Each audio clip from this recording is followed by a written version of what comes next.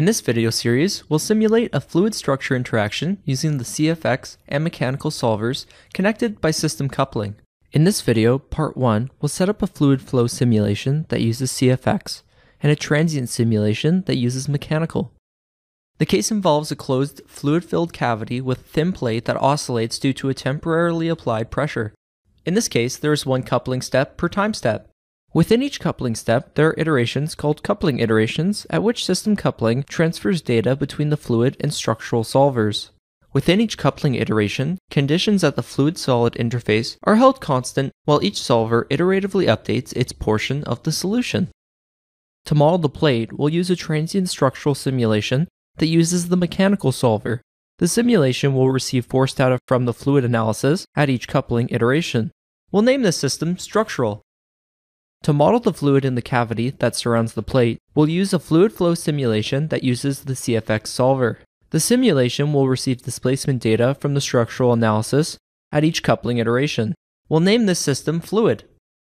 In general, it's best to set up, solve, and simulate the physics independently before adding the complexity of a coupled analysis. For this case, we are going to skip the independent analyses and begin the setup for the coupled analysis.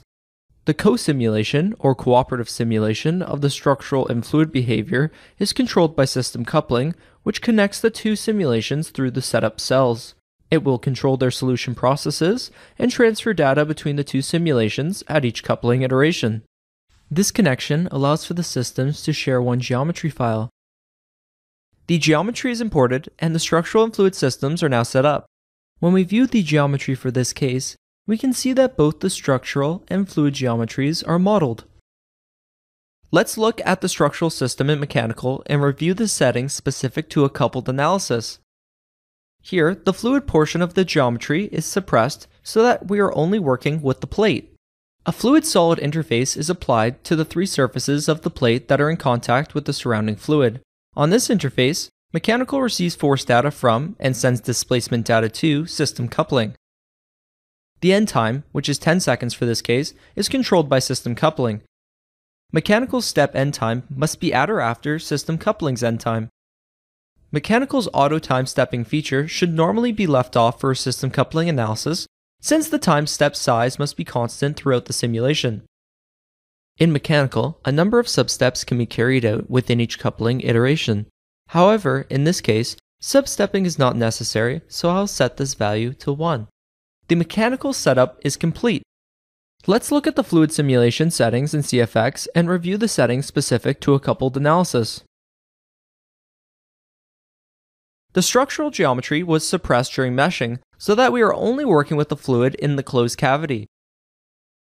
Mesh deformation is enabled in the fluid domain so that the fluid's mesh can move in response to the plate's displacement. For the fluid walls that are coincident with the plate, the mesh motion option is set to system coupling.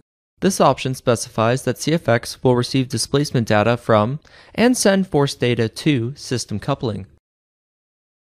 The total time and time step size are set to temporary values. System coupling settings will override these values. In a coupled analysis, max coefficient loops is the maximum number of times that CFX can iterate within each coupling iteration. The CFX setup is complete. This concludes part 1 of this video series. In part 2, we'll set up system coupling and solve the coupled analysis.